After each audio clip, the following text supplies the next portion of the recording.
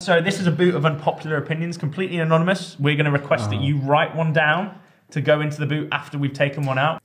Julian Alvarez will have a better career at Man City than Erling Haaland. Oh, we know who said that. You've Who said that? you.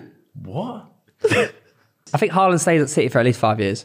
I don't see it. He likes Stone Island. I think he likes England. He likes the he likes the UK, man.